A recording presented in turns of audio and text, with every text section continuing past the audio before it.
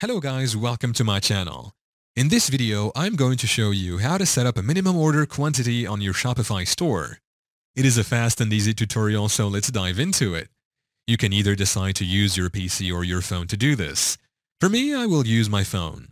Now just choose your favorite browser and click on it to open. Once in, search for Shopify.com. If this is your first time, you can click on Start Free Trial here to start it.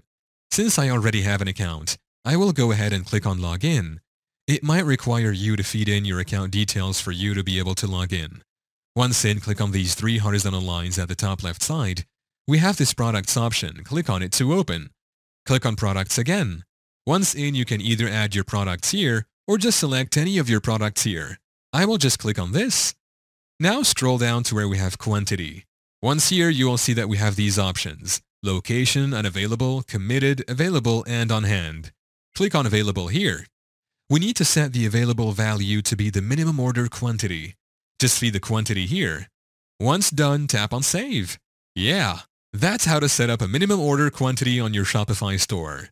Thank you for watching. If this video was helpful, please leave a like and subscribe to my channel for more videos like this. And click on that notification bell to never miss an update.